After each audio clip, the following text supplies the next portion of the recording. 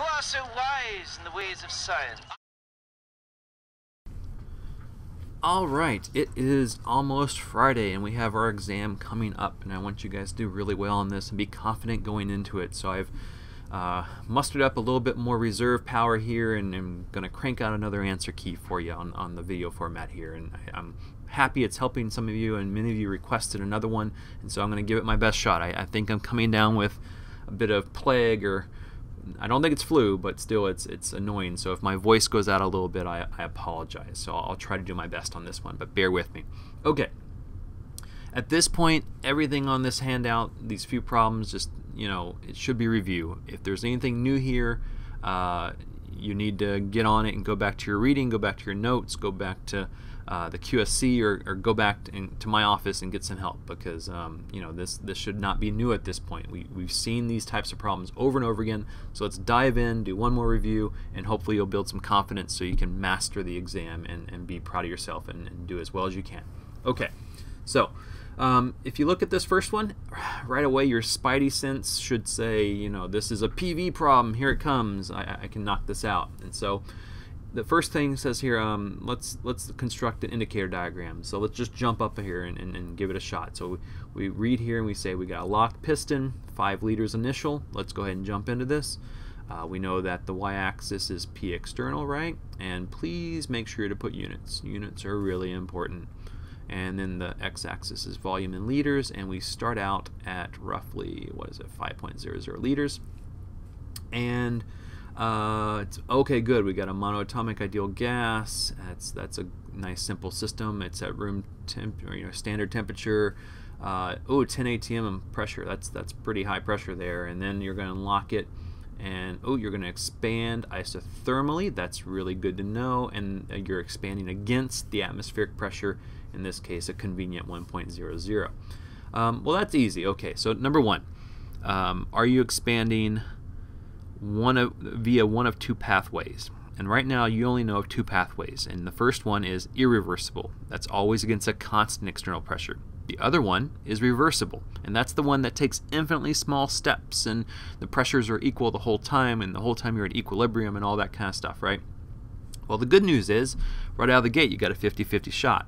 The even better news is, uh, it's you should never miss one of these because unless it explicitly tells you, again, unless the problem tells you you're expanding reversibly, you are not expanding reversibly. So in this case, I do not see the term reversible used anywhere in this description. So you are not expanding reversibly, which means you are expanding against a constant atmospheric pressure of 1 atm. So boom, 1.0 uh, atm, right? Okay, so you start out at 5 liters and oh, where are you going? Well, you don't know. Okay, uh-oh, Pressure's not given, I mean the volume, final volume is not given to you, but that should be easy at this point because you took Chemistry 111 and you remember everything from Chemistry 111. So PV, P1V1 equals P2V2. And since pressure and volume are inversely related, right, we can say that if you decrease the pressure by a factor of 10, you will increase the volume by a factor of 10, giving you a final volume of about 50 liters. That's a lot of space, right? Okay, so that means we're going to expand against constant pressure of 1 atm until we reach 50 liters, which means then we'll equal atmospheric pressure inside the piston and we'll be done with that expansion. Okay, uh, a couple other things to remember uh, that are really important is the area under this curve is equal to what? Well, it's equal to the work done by the system and that's really important to remember. So boom, that's an indicator, indicator diagram. It's great. I highly recommend you do one. Uh, most of the time, that's the first thing you have to do in these problems because before you start running off, uh, you know, down the dark alleys of the mathematics related to thermodynamics, uh, you can get into a lot of trouble if you don't first think about what is actually going on because oftentimes the math flows directly from the indicator diagram. So if you get confused, do an indicator diagram. Plus, it's worth a lot of partial credit, so do that. All right, we want to calculate the Q of the system, right? So that's really important. Well, good news is we're dealing with a monoatomic ideal gas under isothermal conditions, which are the best in my opinion, because then we can say delta T is zero, and then the consequence of that is that the delta U for this system is equal to zero, which is wonderful. But again, that's only, only, only for a uh, monoatomic ideal gas um, under isothermal conditions, right? And we'll talk more why that about why that is in a minute. But it has also been covered in some of my previous videos. So um, you take this one and you say, okay, well, if that's the case, I know that that must be equal to, by the first law to the Q of the system plus the work of the system, right? Okay, and if you know that, you know that the Q of the system is equal to the magnitude of the work of the system, but opposite in sign, right? And so that's really, really important to know. Okay, well, this is trivial then, because remember, we just plotted a uh, irreversible pathway here, right? So it's maybe worth writing that out. So this is an irreversible path, right? And why do we care about the path? Because both Q and or both heat and work are very much path dependent, and we've shown you many examples of that. So in this case, what I do is I typically just say, okay, well, I know that uh, Q of the system is equal to negative of the work of the system, which means it's equal to negative of negative P external, right, times delta V. That's not so hard let's go ahead and just knock this out, right? So we say then that, and of course these signs cancel, right? So we can say that that's equal to P external times delta V. Okay, no problem here. We know we are uh, expanding against that constant external pressure of 1.0 atm, and our final volume we uh, determined here was 50.0 liters minus 5.0 liters it's basically 45, right? Um, and what I do here is I look at my units. I say I got ATM here and I got liters here. I, I just don't like the unit of liters ATM. It's just not one of my my favorite things in the world. So I would prefer that we go ahead and convert to uh, our good old unit of the joule, uh, which is and this is a constant or conversion that I will give you. It's basically 101.3 joules for every liter atmosphere. And in this case then, you crank this out, and if my calculator button pushing is working this evening, I get something on the order of positive uh, 4.56 kilojoules. And you know, if you wanted the work, you would know the work would be negative 4.56 kilojoules, and, and we're all good. So that's that's really exciting. Pretty simple review, but you know, some of you maybe could use a little bit more practice. Okay. Next question says, is this expansion exothermic or endothermic? Well, you might be tempted to just go, oh, well, I see here that's a positive sign, so it's endothermic, and, and you would be right. But I want you to go a little bit deeper, and I want you to give me a microscopic or a microscale explanation. And what do I mean by that? I mean, I want you to go down to the atomic level or the molecular level and tell me what particles are doing. Invoke that kinetic molecular theory that we talked about in in uh, Chemistry 111, hopefully. And so, what I typically do is I kind of zoom in and have my little um, nano camera, if you want to call it that. And so I'll look at my piston, right? I've got my piston here, and uh, I got my really thin piston wall, right? I can. Oh, my art is terrible. I'm sorry, guys. And my piston wall can slide up and down. And we know that under expansion, that wall is going to be pushed out or up until the pressure equalizes. But in this case, I'm going to zoom in as best I can and visualize this gas, right? I've got these little particles of gas and they're all moving around, um, doing their thing, right? They got lots of translational energy.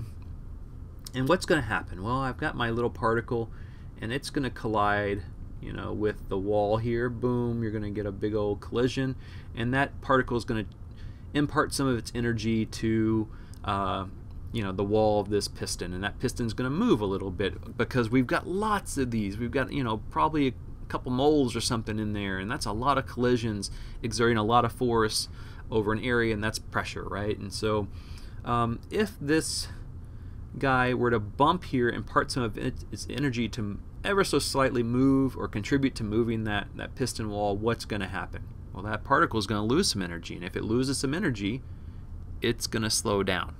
And why is that? Well, you remember that for a uh, monatomic ideal gas, right? So for monoatomic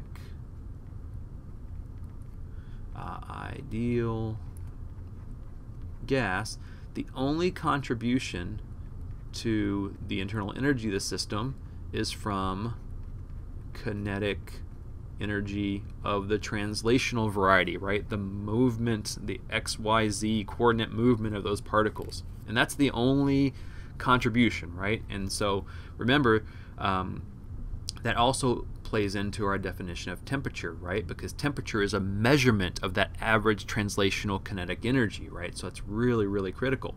So that means if these particles begin to slow down, both the internal energy and the temperature are going to decrease unless you do what? Unless you begin to impart some energy, and in this case, in the form of heat, to the system.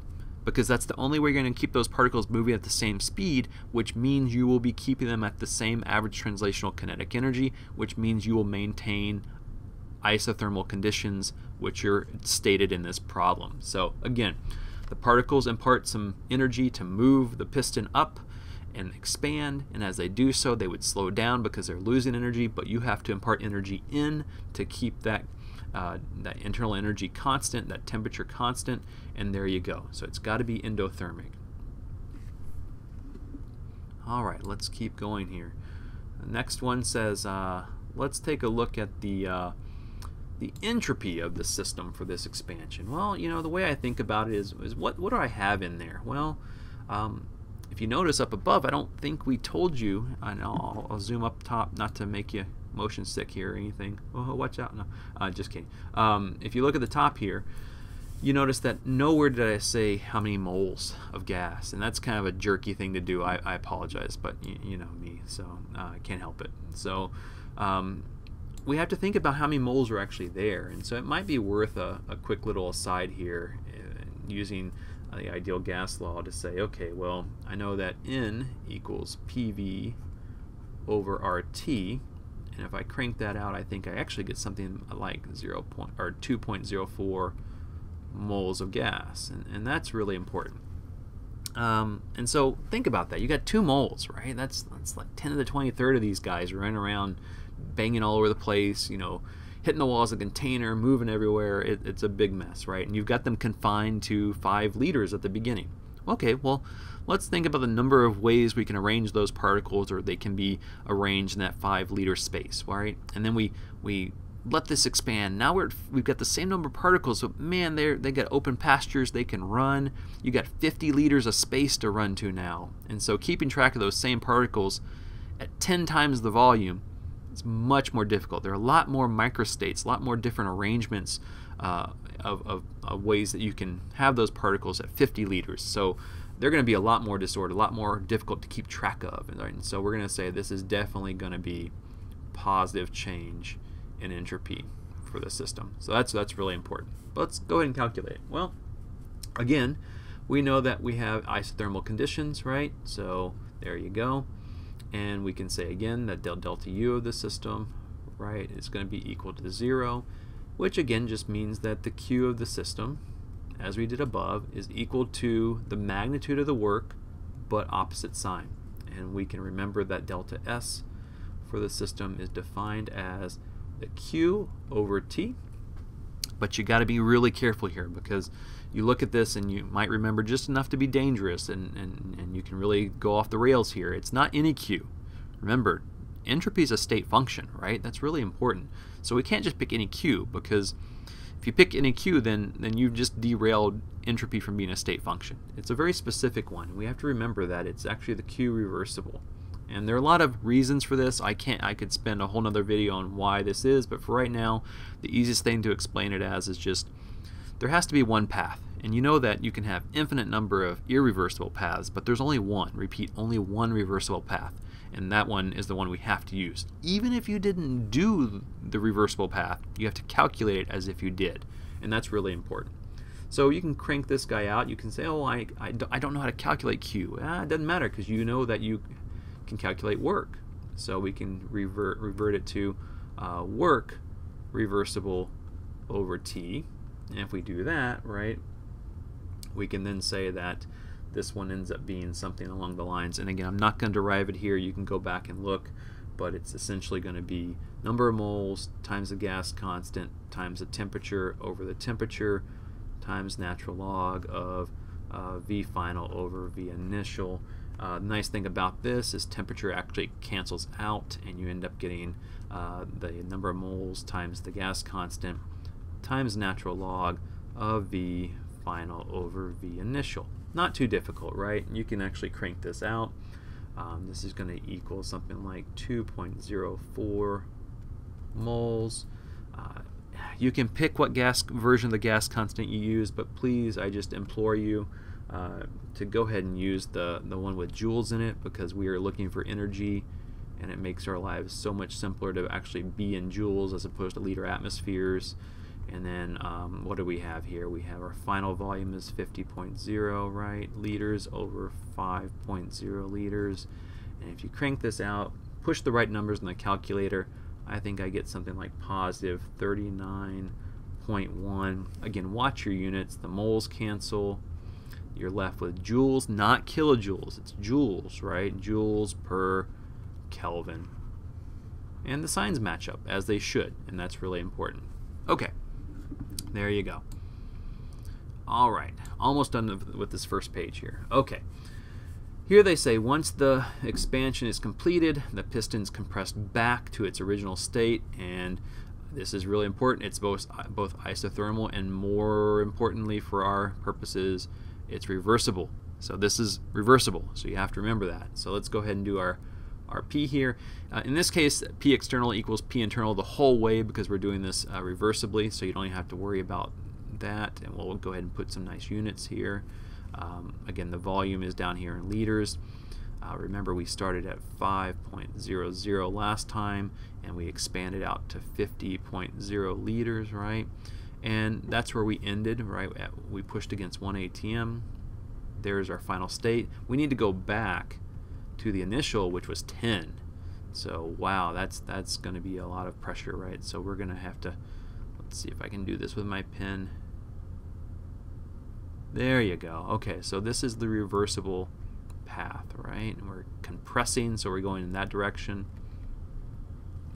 And in this case, you can say, oh, wow, look at that area. That's a lot of work. Remember, that's work of the system. So in this case, you're compressing, right? So the surroundings are doing work on the system, and your energy, internal energy is going up, right? So this one says, okay, hold on. It says predict the sign of Q for the system for the complete cycle. Okay, I kind of break this one down. And so I say, okay, let's look at step two since it's right over here. I'm going to actually look at the work of the system instead of Q, and I'll, I'll come back to it in a minute. We know that this is a large area and it is positive work system, right? You can calculate it, that's great, go ahead, but I wouldn't do it because if you're on an exam and you don't have to calculate something, don't. It's just wasting time. And then we can consider step one, right? And so step one, we know that step one, uh, the work of the system was negative. And so let's try to figure out which one of these wins, which one dominates. So I look at the area here, that's a pretty big area. I go back up here, I look at this, that's a pretty small area. So the negative for the expansion work is, I want to say, well over um, overcome by the positive value here. So if I added these together for the cycle, which you can do mathematically, or you can just look at and say, you know, if, if you kind of cheat here and you look at this little rectangle here, this is effectively the area from the first step and you see all this extra area up here for the second step. So the second step dominates, right? And that's really important. So the second step wins. That means that for the work system for the cycle, I'm going to say it's going to be positive. Which means then, if we want to solve for Q system, we can say that Q system for the cycle is equal to the negative of the work system for the cycle, right? So there you go. In this case, then, it's going to be negative. And so you can circle that one. There you go. And then finally, it says, I love these questions. Uh, predict the sign of uh, free energy change for the system for the complete cycle. And I love this because, say it with me now, delta G is a state function. I need to get like some echo effects, right? Or something like radio people have. State function. State function. There you go. I know that's corny. I'm sorry. Try to wake you up. So if it's state function, doesn't care how you get there. All it cares is where you start and where you end. And for a complete cycle, you, you start and end at the same spot, which means effectively nothing has changed. And so that is a big old goose egg, big old zero. There you go. State function. Okay. All right, moving on. Um, this is getting kind of long, so I'm trying to hurry. Sorry, guys. Okay. This next one I like a lot um, because right away you see that we have a different scenario here we've got butane. Butane is basically lighter fluid, right? And if you ever, hopefully, you know, you don't smoke, please don't smoke. Terrible, terrible stuff. Yeah. But if you've ever gone to the grocery store, you've probably seen lighters, right? And if you see a little lighters that are transparent, they're butane lighters. And if you look in, there's a little liquid, and that's that's butane. But butane's normally a gas. It's compressed, and that's why it's a liquid in that little container. Um, but anyway, uh, you look at this and it can be stored as a liquid, but if you open that or if it cracks or whatever, um, it'll vaporize. And because the normal boiling point is really low. I mean, look at that, negative half a degree, right? So let's let's do something with this this this um, this fuel uh, molecule. And the first thing I want you to tell I want you to write down this is not not helium, right? This is not a monoatomic ideal gas. So do not make those assumptions we made in the first part because they will be wrong, just totally wrong. Okay, so this one doesn't even ask you for a calculation, but wants to know what equation would you use, what formula would you use to calculate the heat of vaporization or the enthalpy of vaporization. Ah, what is that guy? That's standard. So we want to know how do you calculate the standard heat of vaporization for this one? Well, pretty cool. If we look at it, we can write the equation right. So it's going to be C4H10 liquid going to C4H10 gas. By definition, one mole, right? If we know this is at standard state, we can use standard heat of formation values, right? And you can get those from the table. And so it's really simple to write the formula then, right? It's just going to be the delta H standard standard heat of vaporization, right, is going to be equal to, I know some of this freaks you out, you guys don't like this sigma notation, but it's a summation, right, of the number of moles of product, which in this case is trivial, right, it's 1, times the um, standard heats of formation from the table for those values. And in this case, the summation is kind of silly because there's only one mole of each, minus the sum or the moles of reactant, right? Each individual reactant times its heat of formation. There you go, right? Products minus reactants. And if you wanted to actually write it another way, you could say simply um, that's equal to um, one mole of um, gas, right? C4H10 times its delta H of formation minus one mole ah, my pen's getting kind of crazy, of, of liquid, right?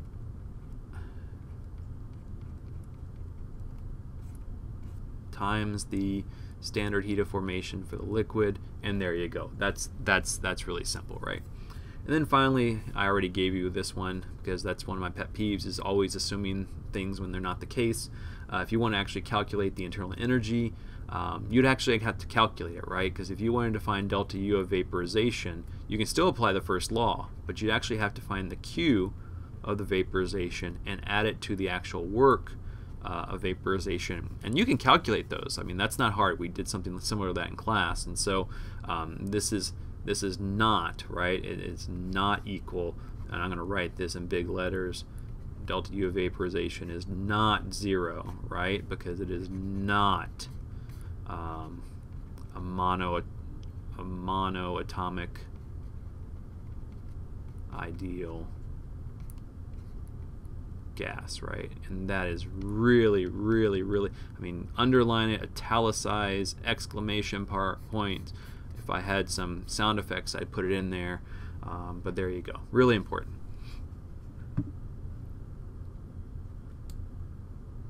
All right, we're almost done here.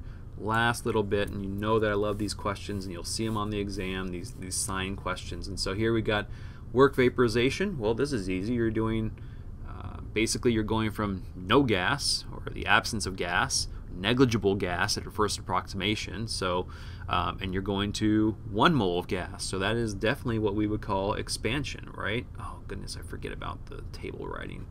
Um, so expansion work, that's PV work, which means that the system is doing the work. So work system is negative, right? And then that's right here. Try to grab. Of course it moves. Sorry guys. Negative. Okay.